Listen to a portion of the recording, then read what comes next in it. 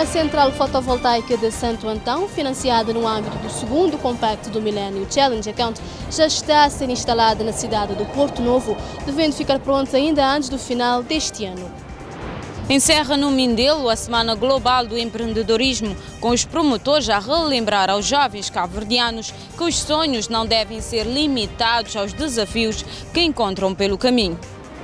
Em Santa Catarina do Fogo, os eleitos do maior partido da oposição acusam a agilidade de nada fazer para resolver os problemas dos munícipes, como, por exemplo, a falta de emprego e a falta de água para a rega e para o consumo próprio há mais de três meses.